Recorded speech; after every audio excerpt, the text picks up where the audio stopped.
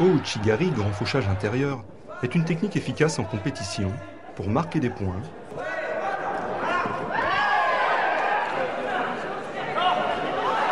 et créer des ouvertures.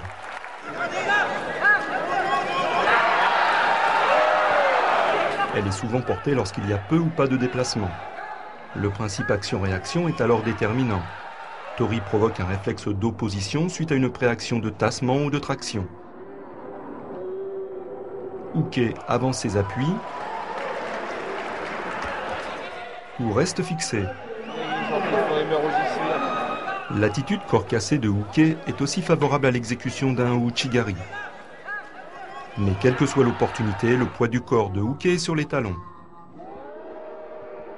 Cependant, si celui-ci réussit à conserver ou rétablir son équilibre, Tori va utiliser le Ken-Ken pour porter au Uchigari.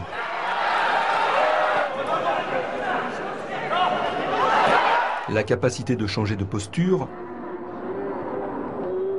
de maintenir le contrôle, d'ajuster la distance pour faucher dans le temps sont des éléments déterminants pour être efficace.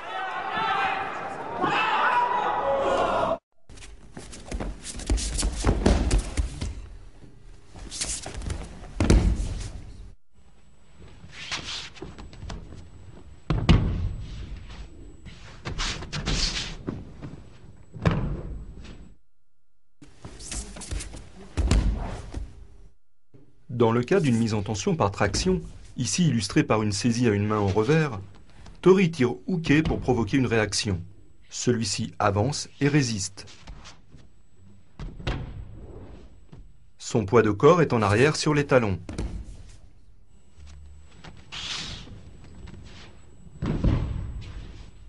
Maintenant sa traction, Tori déclenche son taï sabaki par une rotation des hanches pour se rapprocher.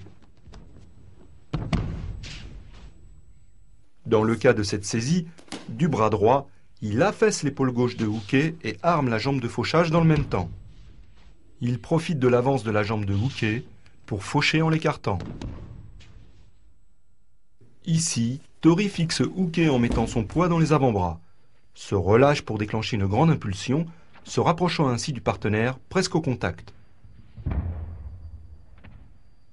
Il utilise la chute de son corps pour augmenter la fixation suspendant son poids à celui de Houquet. Dans un premier temps, les poignets aident à fixer. Puis après l'impulsion, l'action des bras accentue la pression.